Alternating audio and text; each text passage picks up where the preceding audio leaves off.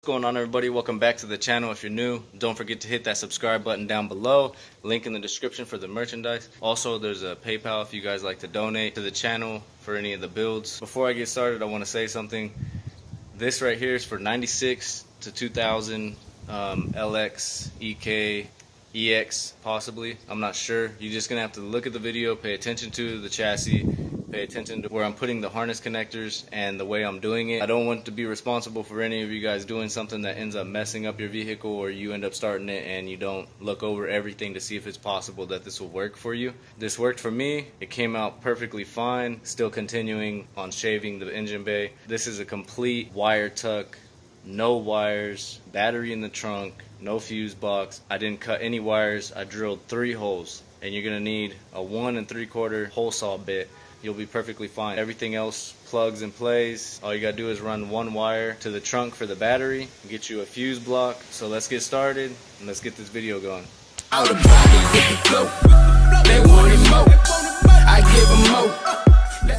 Alright guys, headlight harness, got those. Also got for the windshield wipers, this other plug for the engine harness. I'm gonna take all these wires and put them through the inside so that way they're not there no more. Headlight harness on this side, battery, and fuse box. I'm to put the battery in the trunk, take the plugs from the ECU, and I want to put a hole down underneath this spot down there. And also change this hose so it's a straight hose that goes straight to the firewall and cut this off. It should be straight just for the heater because I don't have AC. I'm to bend the brake lines down to do like a ghetto brake tuck. Want to get this engine bay ready so I can paint it. So I'm to take the fenders off, take out the battery, and start getting ready to do the process of this. Alright guys, so I got the fenders off, headlights off, battery out. What I'm doing right now is I popped the plastic cover off of this and unplugged all the fuse box plugs so that way I can pull these through there.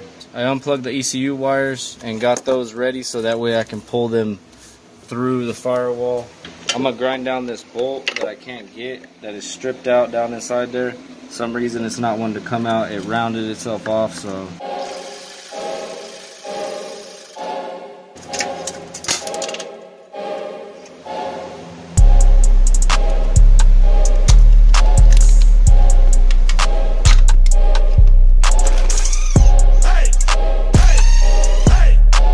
Make sure when you guys are doing this, you guys take these off so that way it'll go through the hole in the firewall.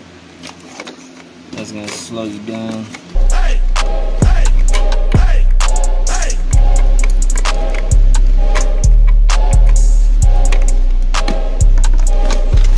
This is the only plug that you're gonna need.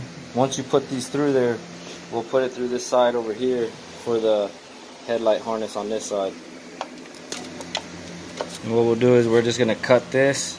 All right guys, so this is the wire that goes for the headlight harness in the front passenger side. And basically what I did was I stuck it back through to the left. So I didn't even have to unbolt anything with the blower motor or anything behind the dash. Basically all I did was take this and stick it in that way. And I'm gonna do the same thing with these plugs. And this is the plug for the fuse box. So basically what I'm going to do is push it over to the left behind everything and then I'll pull it through.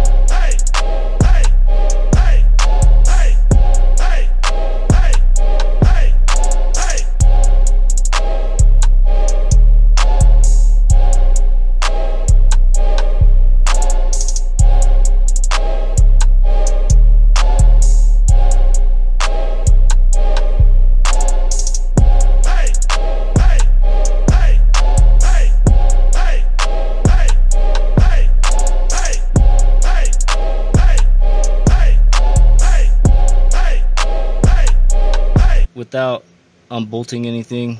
Basically, I push these over to the left of here. I will be putting the fuse box somewhere in this area down here. I'll figure that out here in a little bit. For right now, this is for the headlight harness on the passenger side. And what we're gonna do is, we're gonna push it through where the grommet goes to the outside of the car so that way we can push this through there and have it on the outside.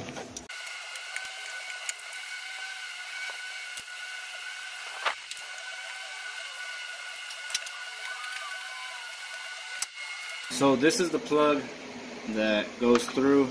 I just cut a little slit along the side so that will go through. I'll cut the end of this out so that way the harness can come through. And I loosened all this across the front. Um, all the wires for the ECU, like I said, I'm going to put a hole down in the bottom over here to hide them so that way they go through that way.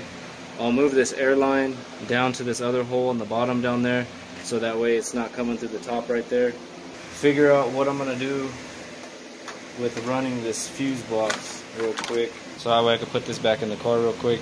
So far pretty simple, not that big of a deal.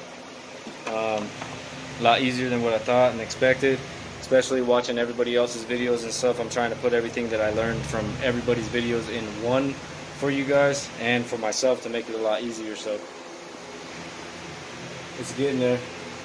I'm gonna get this fuse box put in here and figure out where I'm gonna mount it. Where I drilled and put a hole through was right here. So what I'm gonna do is I'm gonna drill that out big enough to where I can take this whole harness and stick the whole harness through the bottom down there so that way I can keep the whole engine harness wire tucked also. Alright guys, so this is one and three quarters hole saw bit. I went straight through the firewall, got that knocked out. I'm gonna put the harness wires through. All the ECU connectors all fit through there. The extra wire for the harness that comes off of the fuse box actually fit perfectly and screwed in right there. Another cool thing that I seen was ECU was able to mount exactly in the same spot. I got a bolt in there about as far as it can go all the way through. I need to run a power wire to the starter. The main ECU harness is going to blend in with all the other engine components and give this side a nice good shaved look. On this side over here, I hole sawed out with uh, one and three quarter. I'm to run the plug through this side all the way through here. What I'm going for is no cutting wires, maybe just drilling a couple holes and being able to pretty much wire tuck this whole thing to where it's the cleanest wire tuck with the stock wires.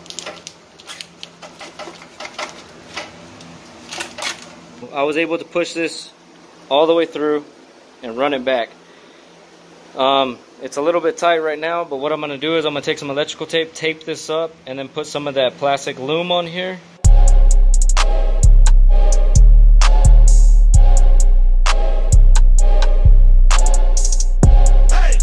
Push this side in and pull this out so that way I can have enough clearance for this plug to go in there.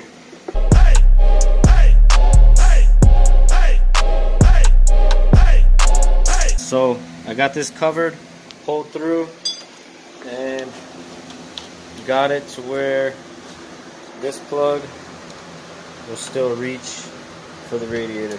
Now for the driver side. So same thing, we're gonna do this right here. We're gonna put it through where the harness already is. Same exact concept as the other side. We'll have to take off this 10 like I said, the grounds are going to be on the outside for those. Remove the brake booster, take that out, and also be able to get to that plug for the windshield wipers. Alright guys, so if you guys are doing this and you don't have cruise control, you can remove this whole box right here. Take that out, unconnect it, and you're good to go. I mean, if you do have cruise control, you can plug that back in and leave it. But you do got to take that out so that way you can get behind it. So that way you can start the process of taking those two connectors and bringing them back through this way to bring them back through here.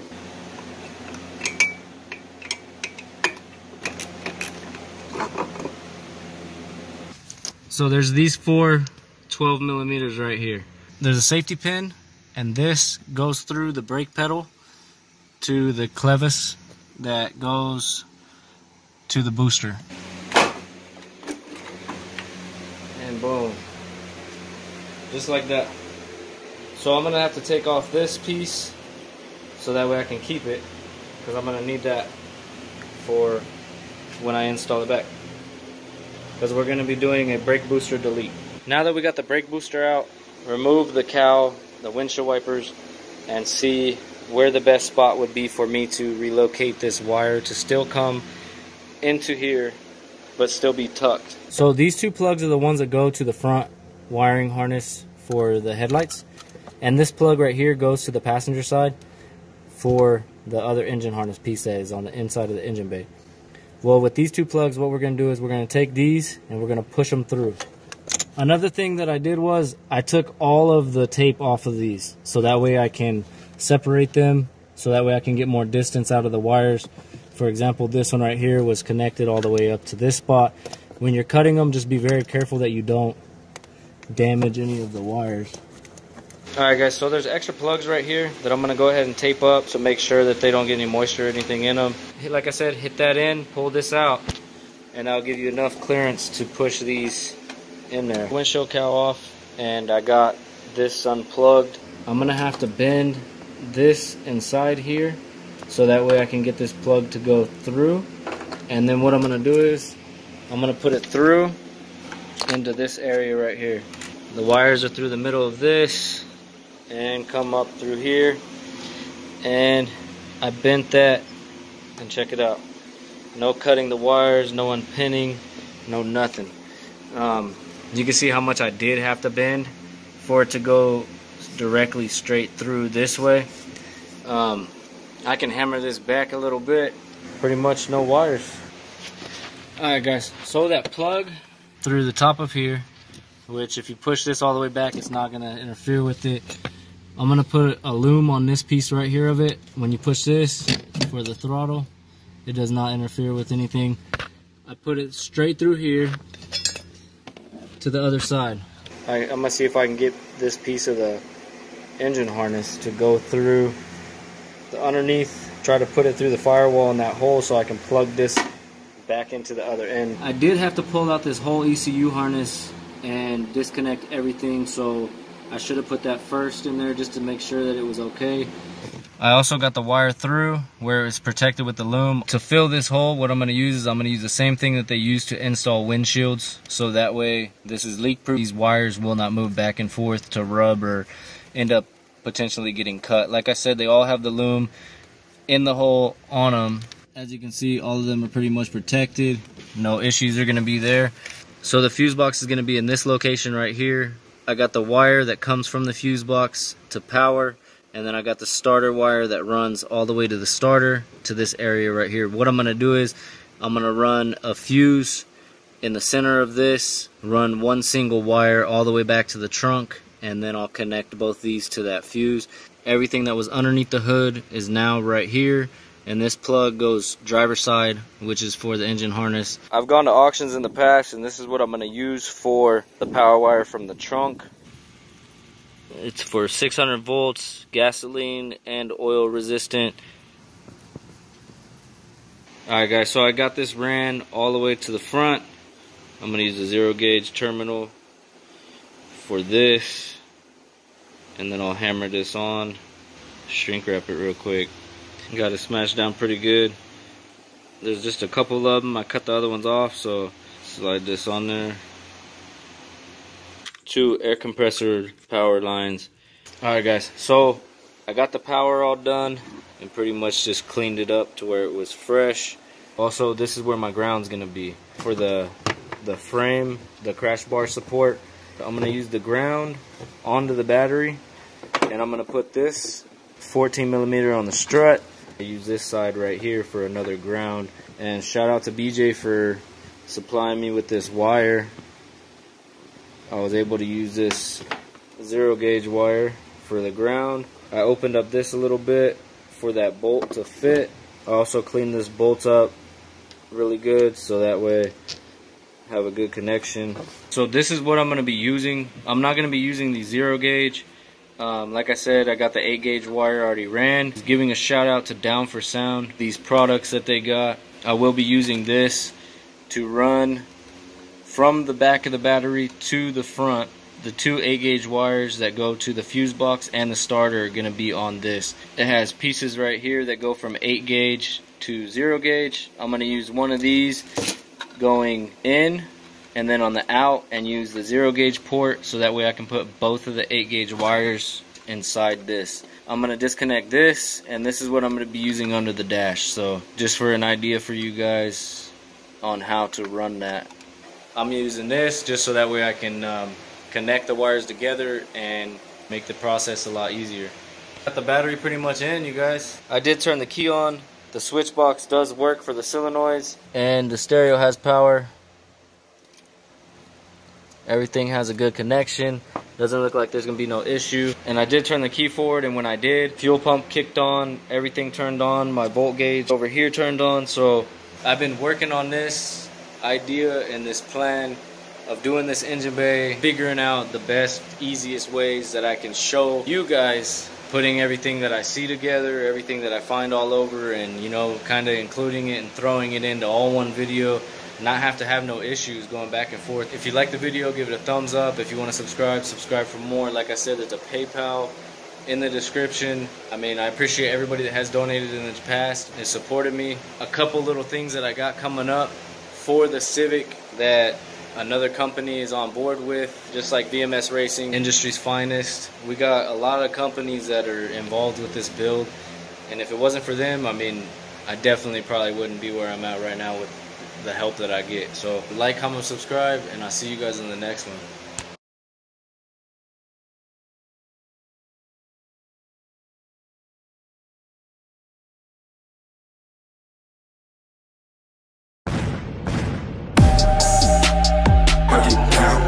take it to the ground. I'ma break it down right now. How you do it?